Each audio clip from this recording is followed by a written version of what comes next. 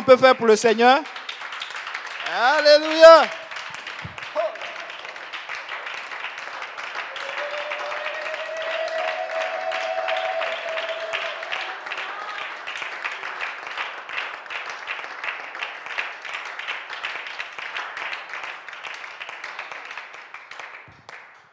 Encore bonsoir à tout le monde. Amen. Donc, euh, ce n'est pas facile de, remplacer le pasteur, mais on, va essayer. Amen? Il faut bien. Amen? Donc, euh, prenez place. Alléluia. D'abord, gloire soit rendue au nom du Seigneur. Merci d'être là. Merci d'être fidèle. Vous savez, une des, des, comment on appelle ça, une des bonnes attitudes ou bien des, des comment, comment on peut appeler ça, euh, des choses que nous aimons dans le Seigneur, c'est sa fidélité. Amen? Dieu est fidèle. Amen. Dieu n'est pas à l'heure, comme le prêchait le pasteur Serge un jour, mais il est fidèle. Amen. Il va arriver à temps. Amen. Toi, tu peux dire ben, que ça soit le lundi, mais s'il te donne même le dimanche, c'est bon. Amen. S'il te donne le mardi, c'est toujours bon. Pourquoi? Parce que c'est lui qui décide. Lui, il donne selon le besoin. Il ne donne pas selon parce que tu, tu, tu, tu veux, mais il donne selon le besoin. Amen. Et ce qu'il donne, c'est juste. Amen. Donc ce soir, euh, je, remercie le, pasteur, je remercie pasteur euh, Yannick. Ils ont fait un travail de fond pour que je sois là. Euh, pasteur était occupé. Il appelle Yannick et puis Yannick dit, bon, moi c'est chaud sur moi.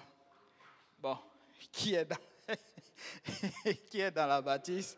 Et puis bon, bon, comme d'habitude, Amen.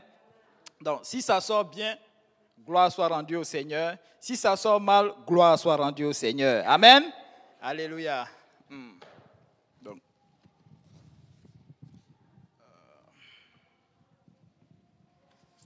on ne va pas être long. Ce soir, nous allons partager un petit truc que le Seigneur a mis à mon cœur. Amen.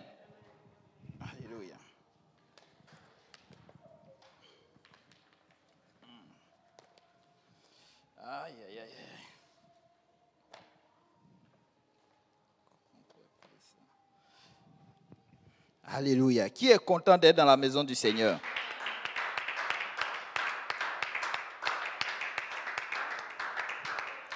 Amen. Vous savez, dans la Bible, on trouve beaucoup de typifications de, de, euh, des choses que Dieu veut que nous puissions les comprendre. Amen. Et Dieu va utiliser des images, n'est-ce pas, pour nous faire comprendre. Nous allons le voir déjà, ça commence déjà dans l'Ancien Testament. Beaucoup de choses sont dedans. C'est un peu comme euh, un peu voilé. C'est pourquoi depuis l'Ancien Testament, les anciens se plaignaient, ils, voulaient savoir qu'est-ce qui allait venir. Quand tu, quand tu es dans l'Ancien Testament, tu te dis toujours qu'il y a quelque chose qui va venir. Tu te dis, mais qu'est-ce qui est en arrière de ceci? Tout est un peu comme flou. Mais Dieu utilisait des images. Il pouvait utiliser un oiseau, il pouvait utiliser peut-être de l'eau, il pouvait utiliser, euh, je ne sais pas moi, euh, des expressions, plein de choses, n'est-ce pas, pour, n'est-ce pas, euh, préparer un enseignement. Amen. Alléluia. Donc, l'une de ces, je ne vais pas utiliser, nous n'allons pas parler de tout parce que c'est long. Euh, Dieu ne fait pas les choses dans les détails il ne fait pas les choses ne soit à moitié ni euh, trop trop long pour que les gens se fatiguent, mais Dieu fait les choses pour que nous puissions, n'est-ce pas, arriver à un point qu'il a choisi. Amen. Mais c'est pour notre bien. Donc nous allons parler aujourd'hui, n'est-ce pas, du pain. Amen. Qui connaît le pain? Tout le monde. C'est vrai ça? Il dit c'est pour manger, mais c'est bon. Euh, nous allons parler du pain. Et c'est bon le pain. Moi, je suis né, j'ai trouvé le pain. Amen. Qui a trouvé le pain comme moi quand il est né? Et si je demandais aujourd'hui quand est-ce que le pain a été euh, fabriqué pour la première fois dans le monde entier? Qui a trouvé la recette du pain? Qui a inventé le pain? Est-ce que quelqu'un une fois s'est mis à faire des recherches là-dessus? Non, hein? On mange seulement. L'essentiel, il est là. Hein? Oui, moi, j'ai fait un peu de recherche, on va voir ça tout à l'heure.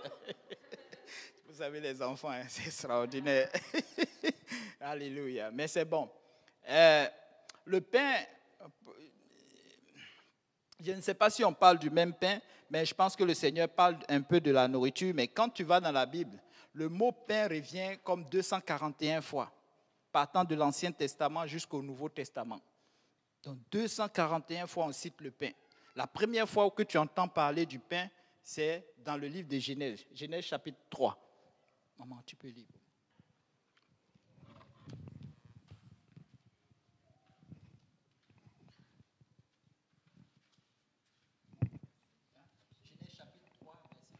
Genèse chapitre 3, verset 19. C'est à la sueur de ton visage que tu mangeras du pain jusqu'à ce que tu retournes dans la terre, d'où tu as été pris, car tu es poussière et tu retourneras dans la poussière. Alors, donc le Seigneur donne un jugement là, n'est-ce pas, à, euh, on sait tous que c'est à Adam. Amen. C'est à la sueur de ton front. Donc, on veut dire, eh ben, par là, le Seigneur veut dire que tu vas travailler dur, n'est-ce pas, pour te nourrir. Mais est-ce que c'est de ce pain-là dont on parle? Je ne sais pas. Mais pour la première fois où on entend parler du pain dans la Bible, n'est-ce pas C'est dans ce euh, chapitre, n'est-ce pas? Donc, pour moi, si je veux le prendre littéralement, je peux dire que le pain, il est assez vieux quand même, comme le monde. Amen? Il y a longtemps que nous avons le pain avec nous. Parce que quand tu regardes au travers de la Bible, tu le vois un peu partout. Quand ils veulent parler de nourriture, ils font référence au pain. Ils parlent du pain. Peut-être que c'est la traduction qui fait que, n'est-ce pas, euh, les gens ont pris euh, la, petite courbe et puis ils ont parlé du pain. Mais on peut toujours faire des recherches et puis ben, savoir de quoi il parlait. Ça ne va pas nous amener en enfer si on le sait ou bien si on ne le sait pas. Amen. Mais n'empêche que le pain. Donc le pain, comment il est fabriqué?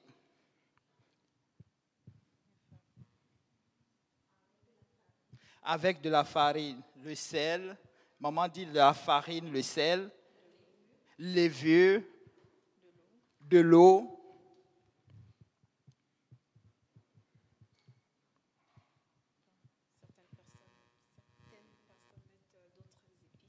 Voilà, certaines personnes mettent d'autres épices. Donc, on va maintenant dans la variété. Donc, on a le pain qui, on va dire qu'ils ont euh, la même, c'est-à-dire la même façon d'être préparé, mais à un niveau, chacun, n'est-ce pas, va dans, euh, ajoute certaines choses, n'est-ce pas, pour différer. Donc, il y a plusieurs types de pain, n'est-ce pas? Euh, Moi, j'ai connu le pain, la baguette française, comme on le dit. Je ne sais pas si c'est bon, si c'est, mais en tout cas, la baguette française, le long, le long pain là, et puis ce qu'on appelle le pain, euh, chez nous on appelle ça le pain doux. Vous savez, c'est, c'est fait et puis bon, c'est un peu sucré dans le goût. L'autre, la baguette française, elle est un peu salée, mais l'autre, il est sucré. Et Ici au Canada, j'ai vu beaucoup de sortes de pain. Ouf, quand je suis arrivé, j'étais même étonné. Waouh, des pains tranchés, des pains carrés, des pains ronds, des pains ceci, des pains cela, toutes sortes de pains. Waouh, c'est incroyable. pour moi, c'était la baguette et puis point final. Mais là, il y a beaucoup de sortes, n'est-ce pas, de pain. Quand on arrive dans la parole de Dieu, on voit que Dieu lui-même, il va le recommander, n'est-ce pas, à son peuple lorsque son peuple était, n'est-ce pas, dans le désert, son peuple était en Égypte, en esclavage, il va donner l'ordre à Moïse, n'est-ce pas, de faire sortir son peuple. Et là va commencer toute une autre histoire. Amen. Désolé si le micro est un peu bas. Euh, j'aime, euh, j'aime euh, vous savez, en Afrique, nous qui sommes nés à une certaine époque, on a beaucoup de gestuels. Le gestuel est important. On faisait du théâtre, on faisait des choses à, l'école et ça nous prend que la main bouge à gauche et à droite parce qu'on veut s'exprimer. C'est une autre façon aussi de s'exprimer. Amen. Alléluia. Donc, Dieu va donner, n'est-ce pas, les instructions à son peuple. Il va donner, n'est-ce pas, au travers de Moïse. Amen. Alléluia. Dans le chapitre 12, chapitre 12, de livre d'Exode. L'Éternel dit à Moïse et à Aaron dans le pays d'Égypte, Ce mois-ci, ce sera pour vous le premier des mois, mhm. il sera pour vous le premier des mois de l'année. Mhm. Parlez à toute l'assemblée d'Israël et dites, Le dixième jour de ce mois, on prendra un agneau pour chaque famille, un agneau pour chaque maison. Si la maison est trop peu nombreuse pour un agneau, on le prendra avec son plus proche voisin, selon le nombre des personnes. Vous compterez pour cet agneau d'après ce que chacun peut manger. Ce sera un agneau sans défaut, mâle, âgé d'un an. Vous pourrez prendre un agneau ou un chevreau. Vous le garderez jusqu'au quatorzième jour de ce mois, et toute l'assemblée d'Israël l'immolera entre les deux soirs. On prendra de son sang et on en mettra sur les deux poteaux et sur le linteau de la porte des maisons où on le mangera. Cette même nuit, on en mangera la chair rôtie au feu. On la mangera avec des pains sans levain et des herbes amères. Amen. Vous voyez, on cite des pains, euh, des pains sans levain et des herbes amères. Amen. Oui. Donc, à un moment donné, quand on regarde la Bible, on voit que, euh, n'est-ce pas, depuis le livre de Genèse dont je parlais, on parle du pain. Les gens mangent du pain, on fait référence au pain. Mais quand on arrive, c'est toujours le même pain. Mais quand on arrive au niveau de, ce chapitre, Dieu fait la différence. C'est le pain, mais ça va être un pain spécial. Pourquoi? Parce que ce pain sera fait à mon honneur. Donc, vous savez, quand on marche euh, en tant que chrétien, Dieu va faire la différence. Il va toujours faire la différence. Moindrement que nous persévérons dans la parole, moindrement que nous persévérons dans l'enseignement, Dieu va toujours apporter une différence. Dieu dit, bon, à partir d'aujourd'hui, c'est fini. Vous ne, regardez, regarderez plus, n'est-ce pas, les mois comme le regardent les autres. Vous ne, ferez plus les choses comme font les, les autres. Même votre pain va changer. Amen vous allez enlever quelque chose, le levain. Et nous allons voir plus tard que le levain, c'est un peu euh, l'image du péché. Amen. Parce que c'est le levain, quand on le met dans la farine, ça fait quoi? Ça, euh, ça fait gonfler. C'est un peu comme si ça, ça fermentait. Amen? Donc le Seigneur dit, vous allez le retirer. C'est un peu l'image du péché. Mais ce n'est pas seulement l'image du péché. Mais le fait même d'obéir déjà, de faire cela, montre, n'est-ce pas, amène le peuple, n'est-ce pas, dans une nature divine de Dieu. Donc l'obéissance était vraiment important. Amen. Non seulement le pain, mais le fait d'obéir à ce que le Seigneur disait, c'était déjà préparer le peuple, n'est-ce pas, à ressembler au Seigneur. Amen. Et à l'époque, c'était beaucoup de fêtes, c'était beaucoup de réjouissances les gens l'ont accueilli et chaque fois que cela devait se mettre en place, c'était toute une réjouissance. Il y avait des gens qui étaient consacrés, le pain lui-même aussi était consacré et vous allez le lire tout au long, n'est-ce pas, de la Bible. Je ne veux pas trop aller dedans. Pourquoi? Parce que pour ne pas être trop long, j'ai un certain nombre de temps à respecter. Et c'est difficile, n'est-ce pas? Ici, on ne prêche pas quatre heures, on prêche une heure. Et une heure même, souvent, on trouve que c'est trop. Amen? Donc, le pain va être, n'est-ce pas, le pain dont on parle, n'est-ce pas, c'est une nourriture. Vous savez, moi j'aime beaucoup le pain. Souvent, quand je suis fatigué du riz, le pain est un peu comme un support. Amen?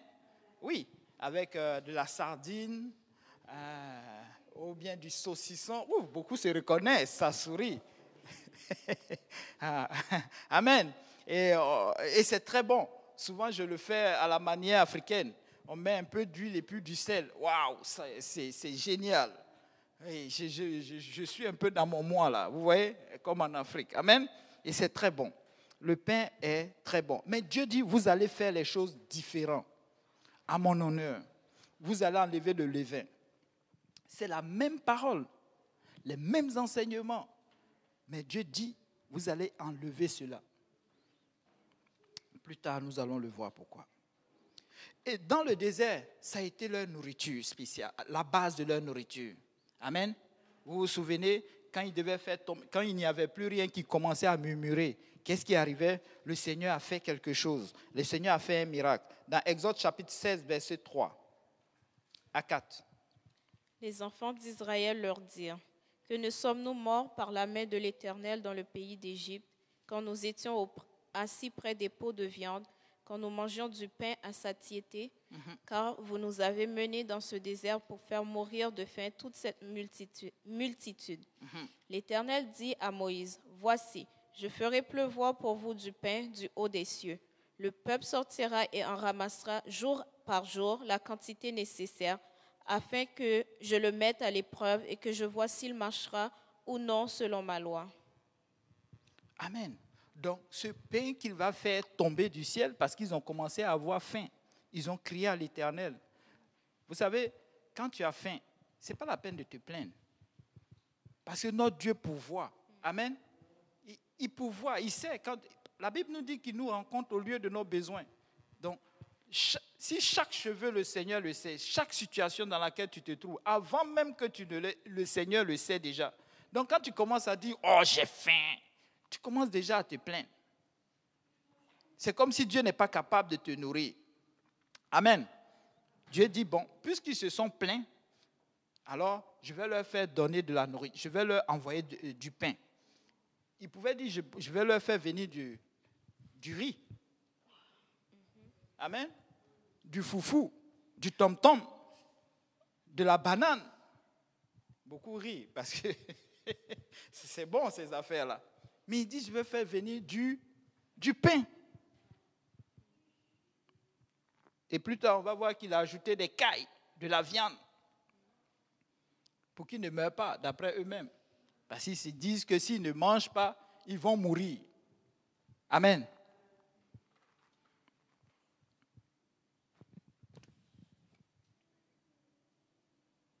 Et ce pain aussi était choisi, n'est-ce pas, pour, n'est-ce pas, faire des offrandes à l'Éternel. Amen.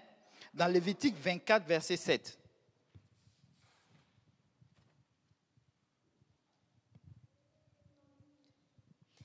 Lévitique 24, verset 7. Mhm. Tu mettras de l'encens pur sur chaque pile, et il mhm. sera sur le pain comme souvenir, mhm. comme une offrande consumée par le feu devant l'Éternel. Amen. Donc, ce pain servait, n'est-ce pas, à faire une offrande à l'Éternel. Amen. Et ce pain aussi, n'est-ce pas, ce pain spécial, n'est-ce pas, était choisi pour se souvenir. C'était pas fait, c'était pas quelque chose donné comme ça au hasard, mais c'est fait pour que les enfants se souviennent, n'est-ce pas, Deutéronome chapitre 16 verset 3. Deutéronome 16 verset 3. Jusque là, nous sommes dans l'Ancien Testament. Mhm. Pendant la fête, tu ne mangeras pas du pain levé, mhm. mais tu mangeras sept jours des pains sans levain, mhm. du pain d'affliction, car c'est avec précipitation que tu es sorti du pays d'Égypte. Il en sera ainsi afin que tu te souviennes toute ta vie du jour où tu es sorti du pays d'Égypte. Amen. Et quand on arrive dans le Nouveau Testament, la Bible nous parle, n'est-ce pas, de ce corps spécial qui était le corps de Christ. Amen. Le corps de Christ dans Matthieu chapitre 26, verset 26.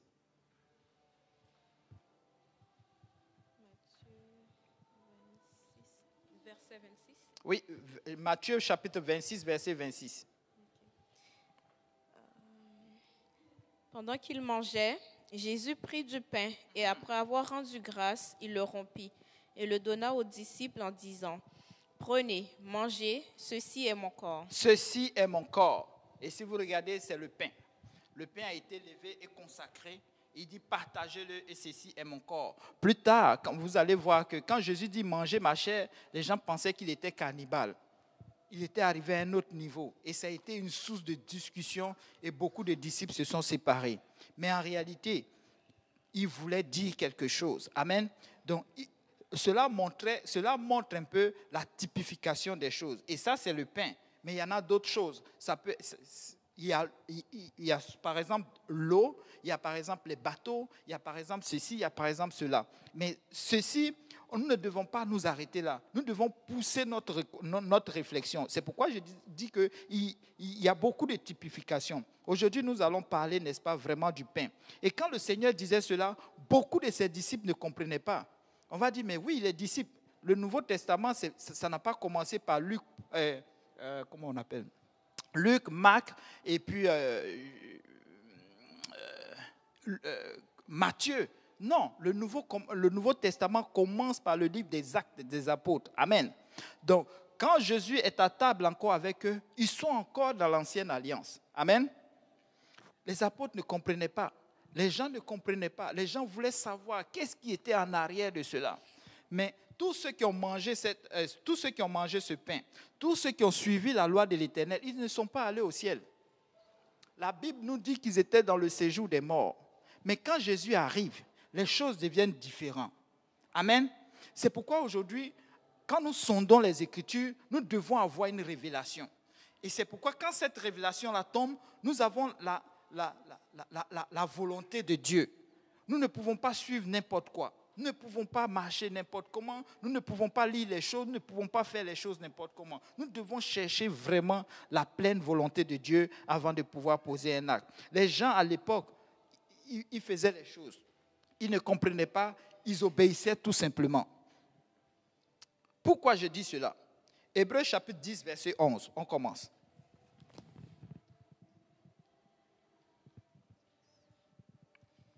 Hébreu 10, verset 11. Verset 11. Et tandis que si tu peux rapprocher le micro. Oui. Ah. Et tandis que tout sacrificateur fait chaque jour le service et offre souvent les mêmes sacrifices qui ne peuvent jamais ôter les péchés. Mhm. Lui, après avoir offert un seul sacrifice pour les péchés, s'est assis pour toujours à la droite de Dieu, attendant désormais que ses ennemis soient, soient devenus son marchepied. Car par une seule offrande, il a amené à la perfection pour toujours ceux qui sont sanctifiés. Amen. Ça, c'est une version. Je vais vous lire ma version. En effet, la loi qui possède une norme des biens à venir et non, et non l'exacte représentation des choses ne peut jamais, par les mêmes sacrifices qu'on offre perpétuellement chaque année, amener les assistants à la perfection. Amen.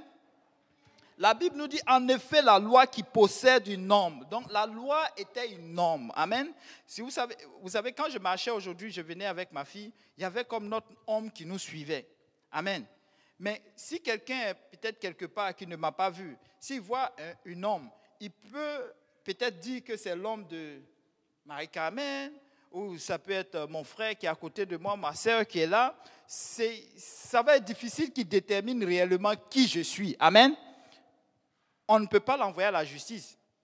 S'il y a eu un crime ici et que c'est toi seul qui es la personne qui est témoin, tu ne vas pas aller devant le juge et puis dire, ben, j'ai vu l'homme de la personne. Amen.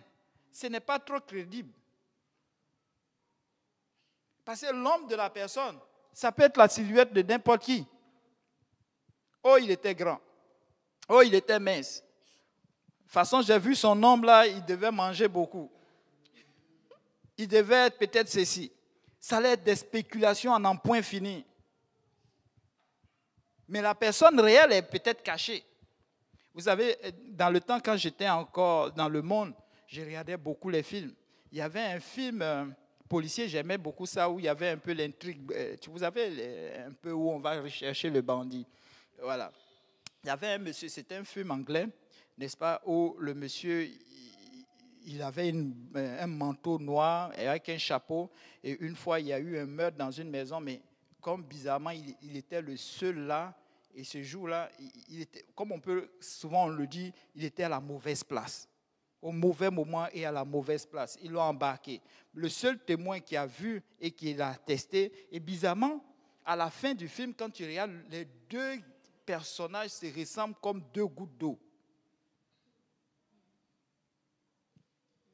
Deux gouttes d'eau, c'est incroyable. Ça a été l'intrigue du film et ils ont tourné autour, ils se sont rapportés à la justice et ça a été un long, c'est un long film où les gens parlent, les gens discutent, les gens donnent les preuves et tout ceci. Donc l'homme d'une personne, c'est difficile d'attester que c'est vraiment cette personne. Même si tu la connais 10 ans, 15 ans, c'est difficile de voir son nom et puis dire oui que c'est lui. Amen.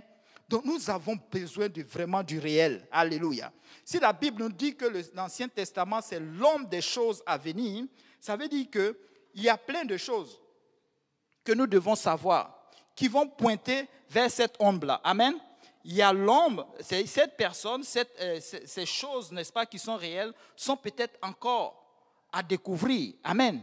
Et quand tu vois l'homme, tu as envie de voir réellement la personne qui est là. Imagine-toi que tu es seul ici. Tu es seul dans ce bâtiment. Et il y a la lumière qui est là. Et tu vois un homme qui passe. Tu as reçu du pasteur que tu es seul dans le bâtiment et puis tu vois un homme. Ah, je me lève un coup pour chercher c'est qui. Alléluia. Si la porte est fermée, c'est sûr que, première des choses, qui est là? Je veux voir qui est caché là. C'est peut-être un malfaiteur c'est peut-être un bienfaiteur. Si tu es en danger, ça peut dire que je ne suis pas seul dans le bâtiment. Il peut m'apporter du... Il peut m'apporter du... Et nous savons que tous ceux qui mouraient dans l'Ancien Testament n'allaient pas au ciel. Ça ne pouvait sauver personne. Amen. Mais ça les plaçait à une place où ils étaient quand même éligibles pour le ciel. Amen. Alléluia. Oui, ça les mettait à une place où ils étaient éligibles pour le ciel. Et ils allaient attendre, n'est-ce pas, que cette personne qui est un homme se présente. Amen. Pour les secourir. Jean, 1, chapitre, euh, Jean chapitre 1, verset 17.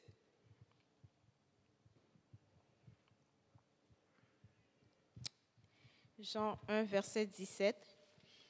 Car la loi a été donnée par Moïse, la grâce et la vérité sont venues par Jésus-Christ. Alléluia. Est-ce que quelqu'un peut dire Alléluia? Car la loi a été donnée par Moïse. Ça veut dire que si tout le plan de Dieu était tourné autour de Moïse, on, devait s'arrêter à Moïse. La loi été donnée par Moïse, mais la grâce et la vérité sont venues par Jésus-Christ. La grâce et la vérité sont venues par... Aujourd'hui, c'est bon d'avoir une raison. Vous savez, la raison, c'est comme des opinions. Le pasteur a dit les opinions, c'est comme des nez. Vous voyez, chacun a un nez. Amen? Chacun a un nez. Est-ce que chacun a un nez ici? Amen. Est-ce qu'on peut toucher son nez? Amen. On peut toucher son nez. Et c'est ça les opinions. Marie a son opinion, ma soeur qui est là a son opinion. Même dans la même famille, chacun a son opinion. Voilà, même, même Daniel, à son âge, il a son opinion. Amen. Mais il sait qu'il doit obéir à ses parents. À un moment donné, quand, le parent donne la parole, son opinion ne compte plus. Amen. Alléluia. Bon. Si au moins on sait ça dès le départ, c'est bon. Donc, la vérité est venue par Christ. Donc, si nous voulons avoir la vérité, si nous voulons avoir qu'est-ce qui est caché dans cet homme, nous devons nous référer à qui? À Christ.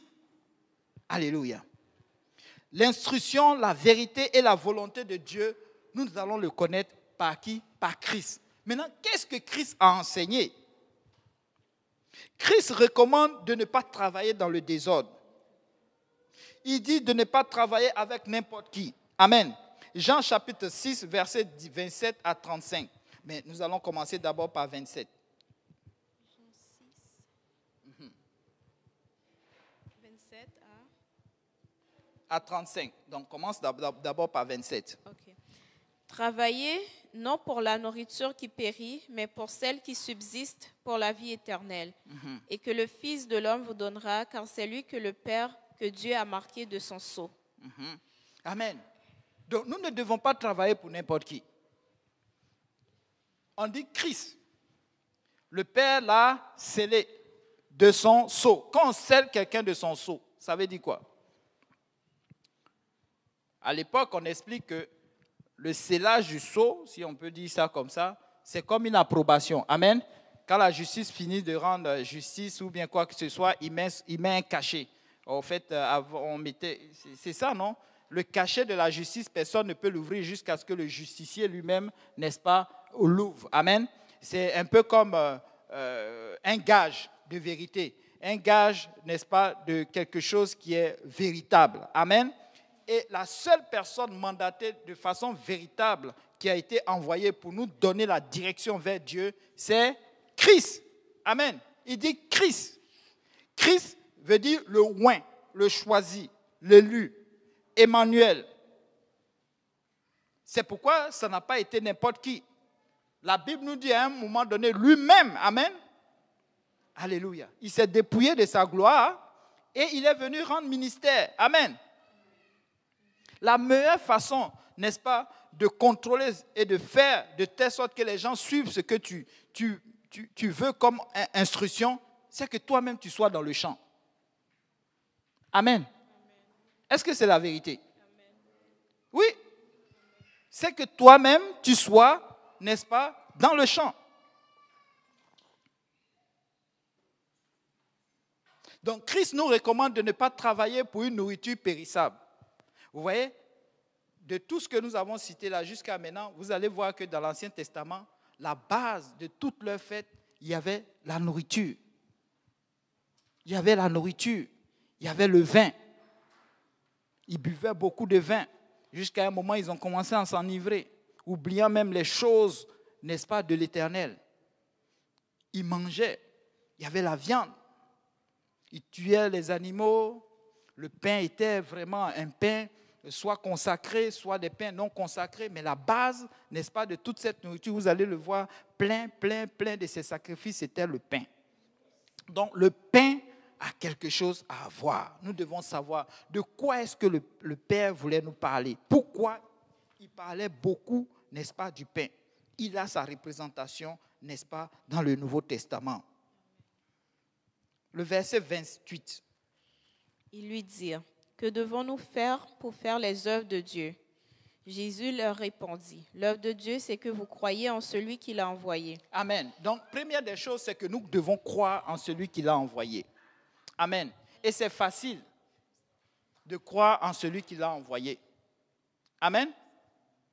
Si tu lis ta parole et tu la médites et que tu pries, c'est facile de savoir si cet homme ou cette personne ou cette écriture que je suis en train de lire, c'est de Dieu. Amen. Même quand tu pries, que tu as une révélation, Dieu nous a donné, n'est-ce pas, un plan, n'est-ce pas, pour que nous puissions, n'est-ce pas, avoir pointé à la bonne place. Rappelez-vous de Samuel, Samuel chapitre 3. 1 Samuel chapitre 3. C'est un enfant qui a été consacré à l'Éternel. La Bible nous parle, n'est-ce pas, de cet enfant qui dormait, n'est-ce pas, dans le temple. À un moment donné, il a commencé à entendre des voix. Amen. Amen. Ah, Alléluia. C'est bon? 1 Samuel 3. Hein? 1 Samuel chapitre 3. Oui, oui. Quel verset 1 Samuel chapitre 3. Verset 3 à 10. La lampe de Dieu n'était pas encore éteinte et Samuel était couché dans le temple de l'Éternel où était l'arche de Dieu. Alors l'Éternel appela Samuel, il répondit, Me voici. Et il courut vers Élie et dit, Me voici car tu m'as appelé. Élie répondit, Je n'ai point appelé, retourne te coucher. Et il alla se coucher. Amen. Donc vous voyez, la première fois que cet enfant entend la voix de quelqu'un, il croit avoir entendu la voix de qui? De son pasteur. Donc, première des choses, quand tu la première des choses, quand, si une révélation doit tomber dans ta tête ou une direction doit venir de Dieu, la première voix que tu vas entendre, c'est la voix de ton pasteur. Et la meilleure instruction que je puisse te donner, c'est de courir aller voir le pasteur. Amen. Aujourd'hui, Dieu a tellement multiplié les pasteurs que avant peut-être c'était un peu difficile, il n'y avait que le pasteur Kaozi. Mais c'est sûr que la révélation ou la personne qui va te parler dans ce rêve sera un de ses pasteurs. Amen. Et tu dois aller le voir. Amen. Pour confirmer la parole de Dieu. Donc tu as la parole, c'est-à-dire ta Bible, mais tu as aussi ton pasteur. Vous savez pourquoi on s'égare beaucoup? Parce que les gens ne considèrent plus les pasteurs. On ne considère plus les hommes de Dieu. Parce que nous avons vu, nous voyons et nous assistons nous, écoutons des témoignages de certains hommes de Dieu qui sont à, des situations et nous, nous les attribuons à tout le monde. Amen. Si aujourd'hui nous arrivons et nous disons que ah, ici à l'église pentecôtiste, tout le monde est pourri, nous tous nous serons fâchés. Pourquoi cette personne qui a dit cela? Parce qu'elle a eu une mauvaise rencontre avec une personne et il croit que tout le monde est comme cette personne-là. Amen? Donc, les pasteurs ne sont pas tous pourris. En plus de ça, c'est des hommes de Dieu. Amen. Et Dieu parle encore au travers d'eux. Alléluia. Oui, continue. L'Éternel appela de nouveau Samuel, et Samuel se leva, alla vers Élie et dit, Me voici, car tu m'as appelé. Élie répondit, Je, je n'ai point appelé, mon fils, retourne te coucher. Samuel ne connaissait pas encore l'Éternel, et la parole de l'Éternel ne lui avait pas encore été révélée. L'Éternel appela de nouveau Samuel pour la troisième fois. Et Samuel se leva, alla vers Élie et dit, Me voici car tu m'as appelé. Élie comprit que c'était l'Éternel qui appelait l'enfant. Et il dit à Samuel, va, couche-toi, et si l'on t'appelle, tu diras, parle, Éternel. Amen. Vous voyez, l'instruction lui a été donnée. Tu t'en vas, tu te couches. Si la, la voix encore, tu l'entends, première des choses à faire, c'est de dire, Dieu, parle-moi. Amen. Il ne connaissait pas encore la voix de l'Éternel. Jean chapitre 6, verset 27, verset 28. Euh, maintenant, on est au verset 29.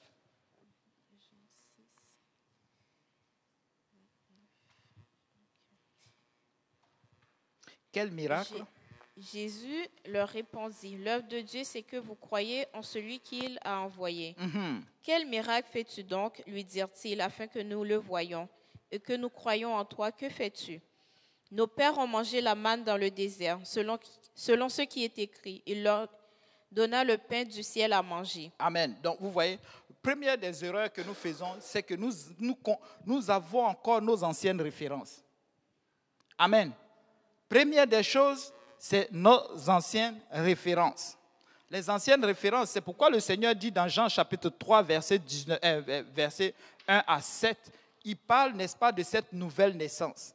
Quand vous arrivez à l'église ici, la première des choses que nous allons vous parler, c'est de la repentance et puis la nouvelle naissance. Jésus a envoyé, n'est-ce pas, les apôtres à aller prêcher l'évangile. Jésus nous a à aller parler à ce peuple-là de la nouvelle naissance. Nous devons naître de nouveau. Nous devons changer nos mentalités. Il dit, quel miracle, n'est-ce pas, fais-tu, lui dit-il, afin que nous voyons et que nous croyons. Est-ce que tu as besoin d'un miracle pour pouvoir croire que cette parole est de Dieu? Ça veut dire que quelque part, tu ne sondes pas les Écritures. Il y a des personnes qui ont besoin de miracles pour pouvoir croire. Oui, il y a des personnes qui ont besoin de miracles et Dieu va le faire. Est-ce que vous savez que Dieu fait les miracles tous les jours dans cette église? C'est impossible que les gens viennent dans cette église et puis retournent. Il n'y a pas une situation qui a été changée c'est parce que les gens ne rendent pas beaucoup de témoignages. Ou quand ils ont ces miracles, ils ne le témoignent pas, ou ils minimisent même le témoignage. Ils minimisent, je ne sais pas si c'est bon le mot, Marie. Elle au fait, pourquoi je fais référence dans le français, elle me corrige tout le temps. Donc, voilà. Ils vont diminuer ce, miracle, ce, que l'Éternel a fait. Et ça, c'est quelque chose que nous, nous, devons, travailler dans, dans, dans, ces choses-là. Ce n'est pas simple. Ce n'est pas simple. Quelqu'un qui reçoit le Saint-Esprit, ce n'est pas simple. Amen. Quelqu'un qui se fait baptiser, ce n'est pas simple. Quelqu'un qui est délivré, ce n'est pas simple. Quelqu'un qui commence à parler en langue, commence à dire des choses, et puis à un moment sa langue devient correcte, ce n'est pas simple quelqu'un qui décide un coup comme ça, il dit, bon, allez, je vais me faire baptiser. Depuis longtemps, il refusait. Et aujourd'hui, il s'élève, il dit, bon, je vais me faire baptiser. Ce n'est pas simple. Vous savez, à l'époque, quand on était arrivé, le pasteur donne toujours ce témoignage-là. J'y peignais, mais c'était en feu. Quand nous appelons, on dit, ah, quelqu'un va se faire baptiser. Oh, qu'on ne baptise pas cette personne-là, qu'on passe me chercher d'abord. Oui, on s'est rué à l'église ici tout ce que vous voyez marié là, on se retrouvait tous à l'église ici. Il faut qu'on soit là. Avant, il n'y avait pas les caméras. Donc, il fallait être là. Amen. Ce n'était pas simple. Alléluia. Quel miracle. Si tu attends un miracle pour pouvoir croire, Alléluia. Ça va être difficile. Ça va être difficile. Dieu bénit. Amen. Dieu bénit. Et si tu regardes dans la Bible, là où Dieu a plus performé les miracles, c'est lorsque le peuple était dans une voie de pécheur. Il envoyait dangereux, les prophètes les plus puissants, tels que Élie, dans le royaume du Nord. Parce que là-bas, ils ont vécu moins longtemps que le royaume du Sud. Parce que le péché était grave là-bas. Tu attends un gros miracle. Du genre, cet immeuble tombe et puis ça se rebâtit en trois jours. Mais non, tu ne vas pas croire. Parce que plus tu vas le voir, plus tu vas en redemander. Plus tu vas demander encore plus de performance. Les, gens ont demandé beaucoup de miracles. Ils ont vu les miracles, mais ils n'ont pas cru. Ils sont restés là. Pourquoi? Parce qu'ils réduisaient Jésus à la dimension humaine. Amen? Oh, ça, ce n'est pas le fils de Marie. On connaît ses soeurs. Et c'est comme ça. Partout où nous allons passer, prêcher l'évangile, ils vont nous associer à notre famille, ils vont nous associer aux choses terrestres. encore ces pasteurs. Oh, ils vont trouver des choses. Oh, c'est cela. Mais vous savez quoi? Nous allons persévérer dans cet évangile-là. C'est en persévérant que le Seigneur va ouvrir une porte. Amen. Le Seigneur est venu chercher ses brebis. Il dit, quoi? Que il a, ses, il brebis dans ce peuple-là. Il dit, personne ne vient à moi si ce n'est l'Éternel qui l'ait appelé. Quand tu parles à une personne qu'elle ne vient pas, c'est peut-être le Seigneur n'a pas encore parlé dessus. Continue. Amen. Nous devons continuer. Les gens cherchent des miracles. Non. Continue. Verset 31. Euh, Nos pères ont mangé la manne dans le désert, selon ce qui est écrit. Il leur donna le pain du ciel à manger. Jésus leur dit, En vérité, en vérité, je vous le dis, Moïse ne vous a pas donné le pain du ciel, mais mon Père vous donne le pain, le vrai pain du ciel. Car le pain de, Dieu, c'est celui qui descend du ciel et qui donne la vie au monde. Ils lui dirent, Seigneur, donne-nous toujours ce pain. Jésus leur dit, Je suis le pain de vie, celui qui vient à moi n'aura jamais faim, et celui qui croit en moi n'aura jamais soif. Amen. Celui qui croit en moi n'aura jamais, il n'aura jamais soif. celui qui vient à moi n'aura jamais faim. N'est-ce pas ce même Jésus qui a multiplié, qui se rappelle, qui a multiplié les pains? 5000 pains. Je peux même dire au-delà de 5000 pains avec, euh, des, euh, avec des poissons. Ce peuple a mangé, ils étaient rassasiés. Mais vous savez quoi? Ils étaient toujours là. Ils étaient toujours là. Ils avaient faim toujours. Vous savez quoi? Nous aurons toujours faim.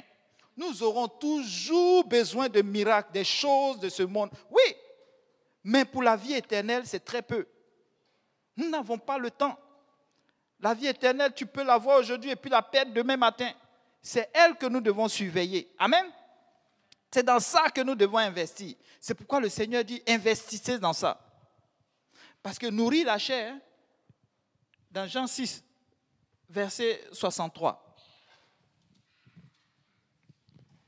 C'est l'esprit qui vivifie, la chair ne sert de rien. La chair ne sert à rien. Les paroles que je vous ai dites sont esprit et vie. Amen. Les paroles que je vous dis sont esprit et vie. Donc la seule chose que nous devons prendre en considération, c'est la parole. Donc quelque part, c'est Jésus. Amen. Ce sont les paroles de Jésus qui vont nous donner la vie éternelle quel que soit le miracle qui viendra, que mon pied guérisse, que ma main se relève, que, euh, que lui, il parvienne à ceci, que lui, il ait un boulot, que lui, il, ait plus d'argent. Nous n'allons, nous n'allons pas aller au ciel avec ça. Vous savez, si nous attendons seulement que le pasteur soit là pour que les choses, tu te sentes vraiment en sécurité, vraiment, ça va être difficile. Le Seigneur peut enlever le pasteur comme par exemple aujourd'hui, et puis il dit, bah, Frère Simplé, viens, prêche la parole. Je suis en train d'enseigner, lui il est déjà enlevé, hein, peut-être. Ou bien peut-être il a une place où bientôt il va monter, et puis nous sommes là. À la fin de cette prédication, il dit, bon, allez, l'enlèvement. Est-ce que notre cœur est prêt? Est-ce que c'est parce que je suis en train d'apporter la parole qu'on dit, bon, on va sous-estimer, n'est-ce pas, cette parole que l'Éternel est en train d'enseigner Parce que c'est le frère Simplice, on connaît sa fille, on connaît lui, on connaît sa femme, bon, voilà. Et très souvent, c'est comme ça que nous réduisons le Seigneur et nous réduisons, n'est-ce pas, la présence de Dieu en nous. La personne qui nous apporte la parole, nous la minimisons, nous la sous-estimons. Au début, c'est bon, mais à un moment donné, bon, on le connaît, on veut plus on veut des miracles. Souvent, on n'a pas besoin de plus de miracles que ça. Dieu va le faire. Il le dit dans sa parole, voici les miracles qui accompagneront ceux qui auront cru. Donc quand quelqu'un dit, ouf, j'ai eu un nouvel emploi, c'est vrai, c'est une bonne chose. Mais c'est normal. Amen. Si tu es un enfant, c'est normal. La parole de Dieu l'a dit. Tu vas la voir. La seule chose qui bloque la présence de Dieu, c'est notre attitude. Chacun de nous, nous pouvons performer ce miracle. Tu n'as pas besoin que, eh oh, que quelqu'un vienne prier sur toi. Et puis, bon, on a dit, bon, c'est lui, il prie, et puis, bon, tout. Non. au fait, nous sommes en train de placer cette personne à un niveau où vraiment lui-même, il va lutter encore avec certaines choses. Souvent, donnons gloire au Seigneur. Dieu l'a fait. Et Dieu va le faire. Il a fait hier, il va le faire encore aujourd'hui. Amen. Mais comment nous nous préparons à cela? Comment nous devons nous préparer à notre miracle?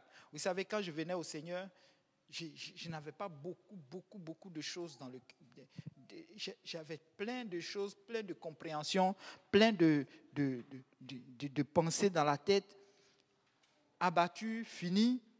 Mais vous savez, je me suis dit une seule chose. Soit j'avance, soit je croule. Je ne vais pas retourner en Afrique avec encore les mêmes situations dans lesquelles je suis venu. Il faut que les choses changent. Dieu est capable de toutes choses.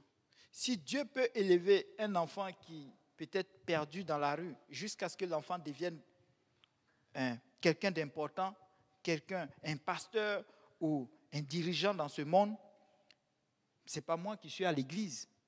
Dieu ne va pas faire quelque chose pour moi. Là, en ce moment, je commence à considérer la parole. Je n'irai plus l'être humain qui apporte la parole, mais je commence à prendre la parole à une autre dimension. Parce que chaque parole que j'ai commencé à s'aimer en moi devait produire son fruit. Chaque compréhension qui arrivait enlevait les nuages de peur, de noisseur que je traînais autour de moi. Amen. J'ai commencé à faire du balayage. Parce que j'ai commencé à placer cette parole en moi. Je méditais et je me forçais à la suivre. Je me rappelle, l'une des premières choses que j'ai commencé à suivre, c'est la dîme. Je me dis, il me faut restaurer cette affaire. C'est plus facile. Oui. Mais oui. Payer sa dîme. Je me rappelle, quand une année j'étais arrivé, j'ai commencé à postuler. Euh, je, me suis, je suis allé m'inscrire dans une école et le gouvernement m'a envoyé 15 000 dollars. Ben, pour pouvoir finir mon école en un an et puis faire ces choses. Quand j'ai vu 15 000 dollars, je me suis dit, waouh! Ça, c'est de l'argent en masse. C'est une grâce. Depuis le pays, depuis l'Afrique, je n'ai jamais vu un gouvernement donner de l'argent à quelqu'un d'aller à l'école. C'est nouveau pour moi. Donc 15 000 dollars. Et une voix est venue dans ma tête, tu dois payer, tu dois donner la dîme. Pas payer, mais tu dois donner la dîme. Je me suis dit, bon, un calcul rapide, 10%. Ça faisait combien? Hein? 1500. Ah, 1500, ça c'est beaucoup. Quelqu'un qui n'avait rien, qui reçoit 15 000, 1500, c'est beaucoup. J'ai dit, bon, je vais payer un peu, un peu. Ben, je vais donner un peu, un peu. Finalement, je n'ai rien donné. En six mois, les problèmes ont commencé. Je n'avais plus rien. Vous voyez? Pourquoi? Parce que j'avais suivi quoi? Les penchants de mon cœur. Ça, c'est un exemple. Parce que mon cœur disait des choses. J'ai commencé à avoir, euh, à avoir certaines pensées. Mais je ne connaissais pas la parole. Le pain que le Seigneur envoie, c'est la parole. C'est Jésus. C'est lui que nous devons méditer tous les jours. Quand tu médites la parole dans le secret, le Seigneur te montre les choses. Il te met en confiance. Pourquoi nous avons les mauvaises pensées? C'est parce que nous ne méditons pas la parole. Parce que quand tu commences à méditer la parole, tu commences à avoir de nouvelles pensées. Tu commences à mettre, n'est-ce pas, à avoir ces plans que Dieu a dans la Bible dans ta tête. Tu commences à méditer jour. Tu peux être là et puis commencer à penser un verset. Et là, vous voyez, le numéro de ton pasteur devient important. Oh, pasteur, je ne comprends pas ça. Là, il voit que tu commences à t'intéresser à la parole. Il commence à voir que tu commences à grandir. Et c'est difficile que quand l'ennemi arrive, il te blague, il te trompe. Quand ton cœur t'envoie une pensée, c'est difficile de dire, est-ce que ça c'est... Non, moi je me fie à la parole.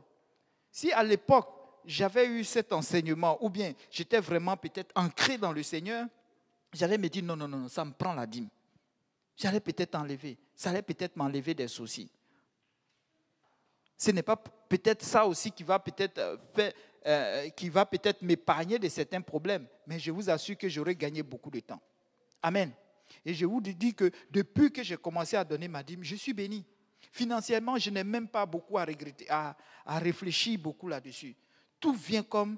Euh, il suffit qu'il y ait une difficulté, il y a une ouverture quelque part. Pourquoi? Parce que je respecte un principe. La fois dernière, le pasteur parlait de moi comme fidèle. Mais Dieu est fidèle.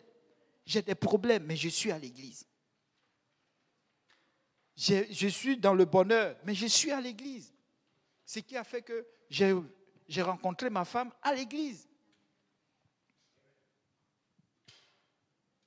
Veux, veux pas, mais c'est ça. Ma femme et moi, on a commencé à prier. Au début, c'était, c'était dur. Parce que on cherchait à avoir un enfant et c'était dur.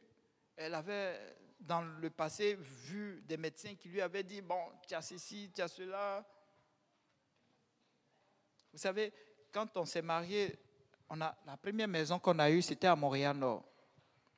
À, Montréal-Nord, et je vous dis, il y a des places où tu n'as pas envie d'être. On était près de la rue, la, Pascal, sur Jubinville.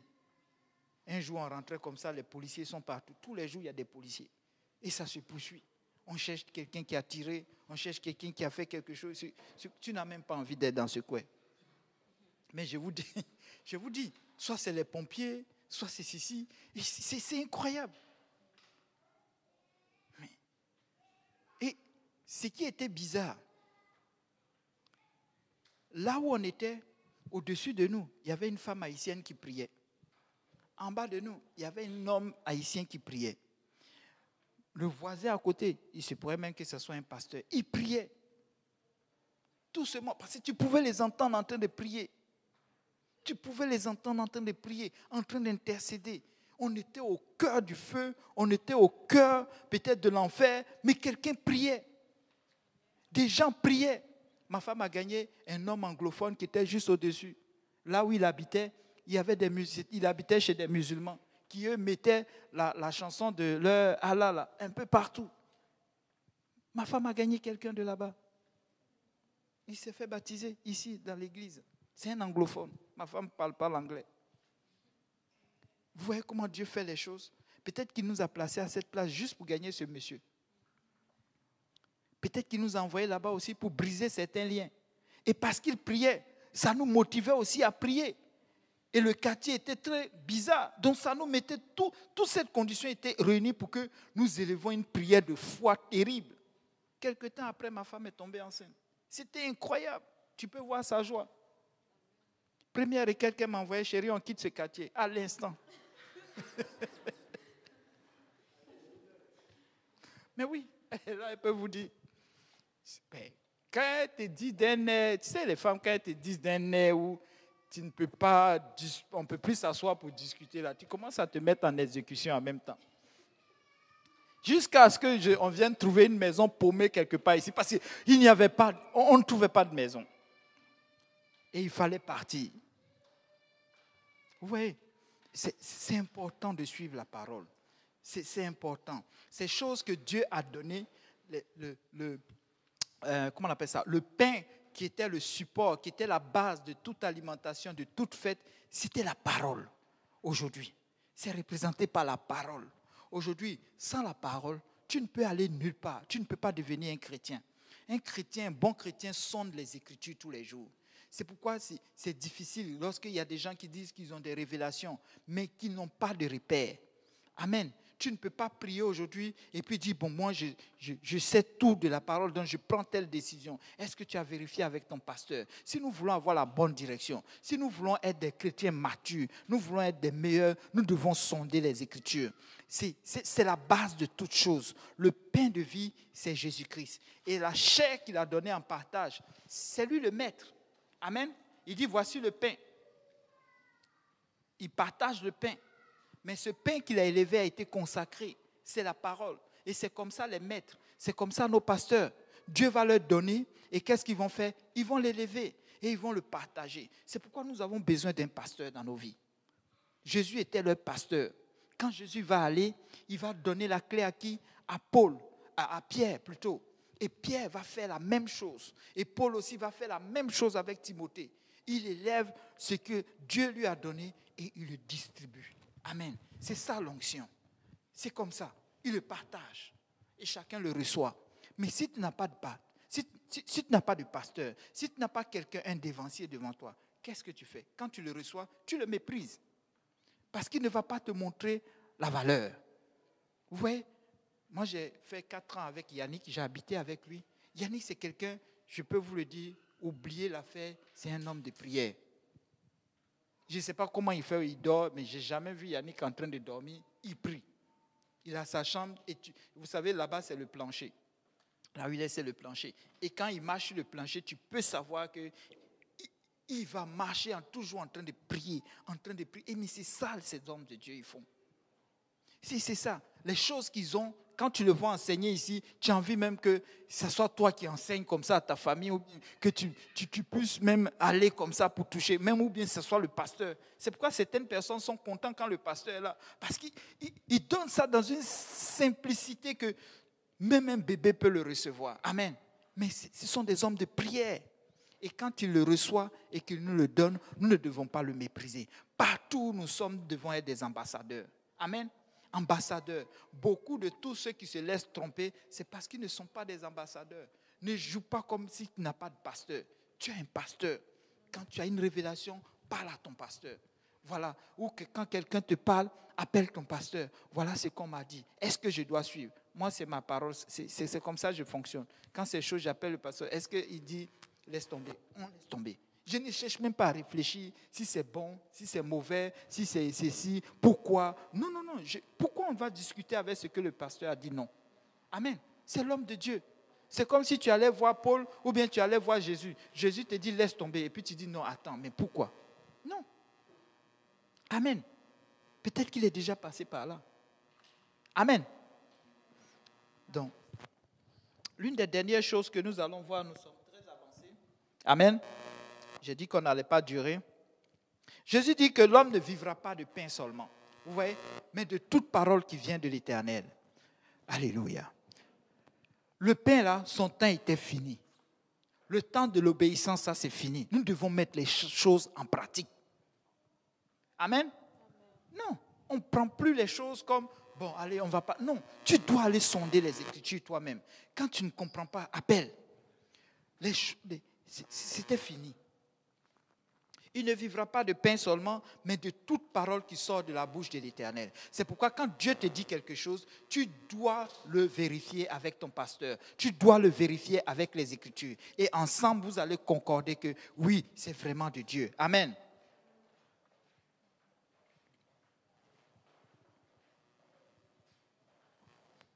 Et la prière nous le dit.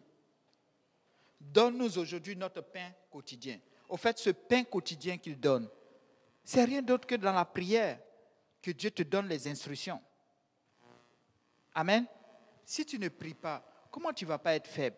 Comment tu, Quand la parole de Dieu nous dit que euh, ceux qui sont conduits par l'Esprit sont fils de Dieu, d'abord, une seule chose, c'est d'abord de te repentir de tes péchés et d'être rempli du Saint-Esprit. Parce que quand tu es rempli du Saint-Esprit, et c'est pas, c'est une force. C'est comme tu épouses tu, te greffes à l'esprit de Christ. Amen. Et quand tu meurs, c'est lui qui va te ressusciter. Amen. C'est lui qui va te donner la force. C'est dans, dans cet esprit que Dieu donne les conseils. C'est dans cet esprit que Dieu révèle les choses. Mais quand tu n'as pas le Saint-Esprit, Amen, tu es comme ce pain. Tout le monde l'utilise. Mais lorsque Dieu va faire la différence, est-ce que tu seras là aussi? Est-ce que tu vas le recevoir? Amen. Quand Dieu a commencé à donner à son peuple, il a consacré son peuple. Les autres qui mangeaient le pain, les autres et tous qui partageaient ce pain, n'avaient pas cette révélation. Amen. Ils ne pouvaient pas faire ce pain parce qu'ils n'avaient aucune idée de ce que les Juifs étaient en train de faire. Amen. Et c'est dans cet esprit que Dieu donne les choses en secret. Quand nous prions, Paul nous recommande de prier en esprit. Ce n'est pas pour rien. Parce que l'esprit, lui, il intercède et il sonde les profondeurs de Dieu. Il sonde parce qu'il sait ce que tu as besoin. Et il crie très fort. Il sait ce que tu as besoin. Et quand ça vient, le Seigneur ouvre les portes et tu commences à comprendre. C'est pourquoi un homme de Dieu, nous ne devons pas le prendre hein, comme quelqu'un qui, ah ben, qui est là, bon, juste pour, pour remplir, euh, euh, comment on appelle ça, euh, une bâtisse. Amen. Ce n'est pas, pas un homme politicien. Un politicien, vous savez, chez nous à l'Assemblée nationale, il y a des gens qui comprennent le français et il y a d'autres qui ne comprennent pas le français. Ils sont là juste pour voter. Quand vous arrivez là-bas, tu lui dis un mot, ils ne comprennent même pas. Tout ce qu'ils sont en train de dire là-bas, élaborer les lois, ils ne connaissent même pas. Quand ils voient que son camarade a soulevé, son camarade du même bord que lui, il soulève la main. À un moment donné aussi, nous devons être comme ça avec le Seigneur. Parce que le Seigneur, lui, il est juste. Amen. Nous ne pouvons plus faire les choses comme nous le faisions avant. Nous devons sonder les Écritures. Un homme de Dieu, ce n'est pas un politicien un politicien juste pour remplir la bâtisse. Non, il nous sert de référence, il nous sert de guide. Tout comme nous avons nos notre papa, notre maman, notre grand frère, tout ce que Dieu laisse autour de nous, c'est pour nous donner des références, afin que nous puissions marcher vers lui. Jésus-Christ dit que je suis quoi? Je suis le chemin, la vie et quoi? Et la vérité. Donc la vérité, nous avons besoin de la vérité. Qui n'a pas besoin de la vérité ici? Daniel. Parce que lui n'a pas encore l'esprit de pouvoir comprendre cela. Il est encore un enfant. Amen. Mais plus tard, il va voir que la vérité là est vraiment importante. Voilà un autre. Il saute parce qu'il a un jeu. C'est bon, ce sont nos enfants. Mais plus tard, c'est bon qu'ils soient dans la maison de Dieu. Nous croyons que tout ce que nous sommes en train de dire, nous sommes en train de faire, les enfants ne le perçoivent pas. Non. Vous savez quoi? Ça m'a étonné. J'ai même dit à ma femme, un jour on était, je ne sais pas, quelque part, j'ai porté ma fille. Et puis je vois, elle met sa main sur mon front. Et puis elle commence à faire. J'ai dit, chérie, et la fille prie. Elle dit, non, c'est Viviane. Elle a commencé chez Viviane. Mais oui. Elle voit et elle fait la même chose. Elle ne comprend pas, mais elle le fait. Déjà, elle commence à imiter. Et c'est ce que Dieu veut. Dans l'Ancien Testament, c'est comme ça que Dieu a commencé à présenter son peuple. C'est ce qu'il voulait imiter, mais plus tard comprendre les choses. Quand l'Esprit était là, Dieu va ouvrir leur esprit maintenant pour qu'ils puissent comprendre les choses, parce qu'ils étaient arrivés à une autre dimension. Amen. Et Dieu va te le donner. Si tu commences déjà à obéir à ce que ton pasteur te dit, si tu commences déjà à obéir aux premières choses que Dieu te donne, vous savez, c'est n'est pas facile d'apporter la parole. Dieu te montre une partie, mais il ne te donne pas tous les détails. Dieu m'a donné aujourd'hui, il m'a mis sur le cœur, lorsque je suis allé, j'ai dit, mais Seigneur, qu'est-ce que je vais donner à ton peuple? Il m'a parlé de pain, mais il ne m'a pas donné tous les détails. Donc, je suis allé comme en haut, en bas, à gauche, à droite. Si moindrement que Dieu t'a parlé dans ton cœur, reçois-le et remercie le Seigneur. Si Dieu t'a pas parlé, reçois-le, remercie, le Seigneur, rends gloire au Seigneur. Amen. Et dis-toi une seule chose. Dieu n'a pas encore fini avec toi. Amen tu ne peux pas sortir d'ici, rester fidèle, chercher la face de Dieu et Dieu ne te rencontre pas. Ce n'est pas vrai. Il t'a pas parlé aujourd'hui, reviens demain. Il t'a pas parlé demain, reviens après-demain. On a parlé de Samuel. Il est revenu combien de fois voir son pasteur? Trois fois. Insiste, insiste, insiste. Ah, aujourd'hui, ce que le frère Simplice m'a dit, je n'ai pas trouvé solution à ce que je cherchais. Ce n'est pas grave parle au pasteur. Si le pasteur ne t'a pas donné, il y a le pasteur Yannick, il y a pasteur Cécile, il y a pasteur Luc, pasteur. Maintenant, il y a une église à Laval. Oh mon Dieu, bientôt une autre église ailleurs. Ce sont des pasteurs, parle-leur. Mais moindrement que quelqu'un dit quelque chose qui s'oppose à ce que ton pasteur dit, rejette-le. Cherche à voir ton pasteur. Ne demeure pas dans le silence. Jésus, Jésus-Christ est le chemin. Jésus-Christ est le chemin. Il est la vérité. Nous tous, nous voulons avoir la vérité. Amen ce soir, si quelqu'un n'est pas encore baptisé, nous avons l'eau et un pasteur. Amen. Pasteur n'est pas parti et puis il est parti avec tout le monde. Pasteur Yannick est là. Il y a toujours un pasteur qui est là. Amen. Donc, tu peux être baptisé au nom de Jésus-Christ. Tu peux revêtir le nom de Jésus-Christ aujourd'hui. Tu peux dire, ah oui, moi j'ai reçu beaucoup d'enseignements, il n'y a rien, mais je peux te dire que si tu obéis, Dieu peut faire la différence, tout comme il a fait la différence avec le peuple. Amen. À un moment donné, Dieu a dit, bon, tu t'en vas tu t'en vas. Tu t'en vas. Je vais faire la différence. Amen. Et tu peux faire la différence avec le Seigneur. Si tu as besoin du Saint-Esprit, le Saint-Esprit, c'est Dieu littéralement qui vient habiter en toi. N'est pas moi qui le dis, mais c'est la parole de Dieu. Dieu vient habiter totalement en toi. Parce que Dieu t'aime. Dieu ne veut pas se séparer de toi. À cause du péché, à un moment, tu t'es égaré. Mais Dieu veut revenir, rebâtir encore cette confiance. Mais comment il peut le faire si tu ne lui ouvres pas tes portes? Dieu ne force personne. Amen. Si tu m'entends en ligne, tu peux, tu peux aussi recevoir. Tu peux aussi l'avoir. Tu peux être baptisé au nom de Jésus-Christ. Tu peux te faire, euh, tu peux être rempli du Saint-Esprit. Amen. Il y a des gens qui ont prié pour certains, ils ont été remplis du Saint-Esprit, même en ligne. Tu sais, je, le disais, j'ai cherché Dieu, je me suis j'ai commencé à prier, j'ai pris ma Bible. En ce moment, je suivais l'enseignement avec le pasteur. On était sur, euh, chez le frère Apo, quelque part, à Sainte-Kévin. Mais quand je venais à la maison, je cherchais, je voulais comprendre. Et quand tu, quand tu cherches la voie de l'éternel, quand tu cherches la voie de la justice, Dieu va te donner, va te mettre dans la bonne direction. Mais il faut que toi aussi, tu aies l'esprit de pouvoir comprendre que c'est vraiment la voie de la justice dans laquelle Dieu est en train de te conduire. Et accepte le sacrifice qui va avec. Amen. Oui, parce que c'est ça qui va bâtir ton témoignage. Quand tu arrives, par exemple, quelque part chez toi où tu croises quelqu'un, qu'est-ce que tu vas lui annoncer? Jésus-Christ t'aime. C'est bon. Jésus-Christ aime tout le monde. Mais c'est quoi ton témoignage? C'est ça qui va venir sceller l'affaire. Amen il parle du témoignage. Jésus est en train de faire tout ceci pour nous donner un témoignage. Amen. Si tu es là aujourd'hui, c'est parce que Dieu veut te donner un témoignage. Amen. Donc, soyez bénis. C'est tout ce que le Seigneur a mis à mon cœur. S'il y a quelque chose de plus, ben, ce n'est pas grave. Vous pouvez parler au pasteur, soit pasteur Yannick ou pasteur Kaozi.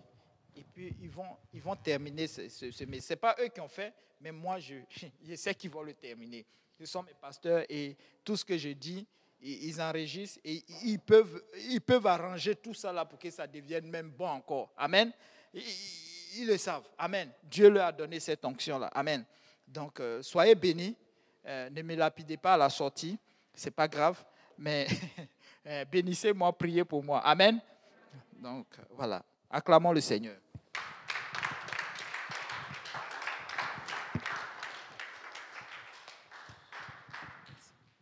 Alléluia. Amen. Si on peut se lever. Quelqu'un dise le pain. Regarde moi, tu dis le pain. En fait, le message a été confirmé aujourd'hui parce qu'aujourd'hui, il devait passer par le Maxi pour acheter le pain. Et frère Saint-Bis regardait, il me disait rien. Et ça faisait longtemps qu'on n'avait pas mangé le pain en ajout. Vous savez, les, baguettes de Maxi, là. Et c'était aujourd'hui la première fois depuis longtemps. Amen. Dieu sait comment faire ces choses. Il me disait rien. C'est maintenant que je comprends. Amen. Je ne sais pas, qui aime le pain? Moi, j'aime le pain. Amen. Mais vous savez ce qui est spécial dans le pain, c'est que des fois, même quand je jeûne, c'est quand tu jeûnes là et tu culpabilises, le jeûne est difficile. Tu dis, Seigneur, il me faut briser un peu jusqu'à. Mais comme tu ne veux pas manger le gâteau, quelque chose de trop, ou même une bonne nourriture là, c'est ce que tu vas faire. Tu vas prendre un peu de pain avec l'eau et le sucre. Quand tu as un peu, je dis, Seigneur, c'est correct, je peux continuer de jeûner. Je ne sais pas, moi, il fait ça, moi, j'avoue. Qui fait ça? Ah, vous, quand vous jeûnez, vous jeûnez totalement. Vous ne prenez même pas un morceau de pain. Hein. Mais on a des jeûneurs ici. Amen. Donc, vous voyez l'importance du pain. Ça te donne de la force. parce que c'est la racine même de la nourriture. Amen. Et c'est pour ça que le Seigneur dit, je suis le pain de vie. Peut-être qu'il savait qu'on allait tellement manger de pain, qu'on allait tellement aimer le pain, qu'il voulait qu'on se rappelle qu'à chaque fois qu'on est en train de croquer le pain, qu'on pense qu'il faut le pain de vie, pas le pain physique, pas seulement le pain, la nourriture. Amen. Mais ce qui est bon dans le pain, c'est qu'il y a souvent le pain avec... Euh, ça va avec, il y a des noisettes, il y a le pain au chocolat, le pain avec des raisins, le pain aux amandes. Vous savez, vu, quand on veut manger le pain, on aime la qualité du pain, parce que si tu manges le même pain baguette de Maxi tous les jours, tu vas te fâcher, tu vas dire c'est quoi ça?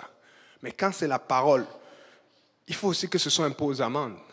Quand c'est la parole de Dieu, il faut que tu mettes un peu de chocolat. Donc ça va te prendre plus de temps pour creuser. Ça va te prendre plus d'efforts pour essayer de comprendre parce qu'il y a tellement de variétés de pain. Mais pourquoi on ne peut pas comprendre que si on, au départ, le pain, c'est le pain et qu'on ajoute juste pour rendre ça plus agréable dans la bouche, pourquoi tu ne veux pas prendre le temps d'avoir un bon pain de la part du Seigneur? Pourquoi tu ne veux pas prendre le temps d'avoir une bonne relation avec le Seigneur? Amen. Dieu veut qu'on considère le pain qu'on le considère, qui est notre pain de vie. Amen. Nous avons besoin du pain de vie. Regarde ton voisin, tu as besoin du pain. Mais vous savez ce qui se passe avec le pain? C'est que tu ne manges pas juste aujourd'hui et puis tu attends deux, trois semaines. J'ai regardé pour le pain, c'est un peu comme le riz pour nous en Afrique. Tu vas toujours Mais le pain, ça se mange encore plus parce que le riz, souvent, ça remplit. Donc, si tu réalises que tu as besoin d'une certaine quantité de pain chaque jour, pourquoi on ne peut pas comprendre qu'on a besoin d'une certaine quantité de paroles de Dieu chaque jour? Amen. Mais ça doit se travailler. Tu ne peux pas juste prendre un petit morceau comme ça, après tu oublies. Il faut que tu aies l'habitude de grandir dans le Seigneur. Il faut que tu aies l'habitude d'écouter ton pasteur ou l'homme de Dieu enseigner et que tu prennes l'habitude aussi d'aller creuser. Parce que on ne te donne pas toujours le pain. Des fois, c'est toi qui vas partir au frigo, tu vas ouvrir le pain, tu dis aujourd'hui, ah, j'ai trop mangé le chocolat hier, aujourd'hui je vais mettre le jambon. Aujourd'hui je vais mettre la confiture. C'est toi qui choisis ce que tu vas mettre dans le pain. Mais tu vas chercher, il faut que tu aies du choix. Mais la Bible est tellement vaste. Tu peux avoir toutes les qualités de pain dans la Bible. Tu peux avoir toutes les qualités de chargement pour que ce soit agréable à manger. Amen. Donc, on va élever la voix pour dire Seigneur, donne-nous la force, Seigneur, d'aimer ce pain de vie. Oui, et le, le, frère Simplice l'a dit, l'a mentionné à Lévitique, je crois, 24, quelque chose. Il dit Tu vas mettre de la cendre sur le pain. Vous savez, c'était quoi le problème de la cendre? C'est parce que quand tu prends le pain et qu'il y a la cendre dessus et que tu as mangé, vous savez ce qui se passe? Le goût reste. Dieu voulait qu'on se souvienne de ce pain. C'est-à-dire que tu vas... C'est comme... Mange un jour, bon, ne fais pas, mais si tu veux faire un peu ça, rien va te gagner. Amen. Mets un peu la cendre de le pain, tu vas manger, tu vas voir. Il y aura un petit goût amer qui reste. Parce que Dieu veut que tu comprennes que la parole ne va pas toujours être sucrée. Ça va être un peu amer, mais ça va être bon pour toi. C'est pour ça que vous n'avez pas vu les enfants. Quand tu leur donnes les petites confitures amères, là, ils sont en train de fuir, mais pourtant c'est pour leur santé. Ils veulent seulement les chocolats et les biscuits, alors que c'est ça qui va les amener chez les dentistes. Amen. Donc ce goût d'encens, là, c'est Dieu qui le veut pour que tu saches que des fois, quand tu manges le pain, ça ne va pas toujours être agréable, mais c'est bon pour toi. Amen. Donc on va prier que Seigneur, fais-nous aimer le pain. Le pain que nous n'aimons pas naturellement parce que nous voulons pas être punis ou nous voulons pas être disciplinés, mais qui va nous discipliner et qui va nous bénir. Amen. Élevons la voix vers le Seigneur. Seigneur, nous invoquons ton sang précieux. Nous voulons, Seigneur, recevoir ce que tu as à nous donner à manger aujourd'hui spirituellement.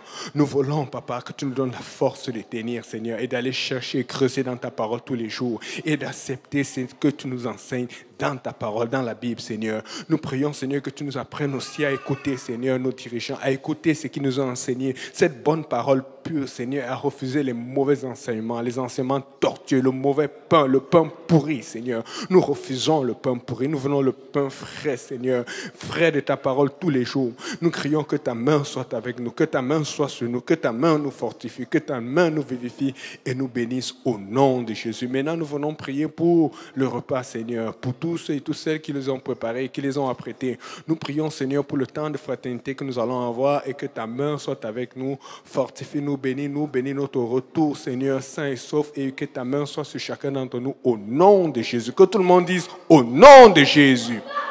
Alléluia. Si on peut battre des mains pour le Seigneur. Alléluia. Donc on a fini pour aujourd'hui. Bon appétit. Servez-vous. Alléluia.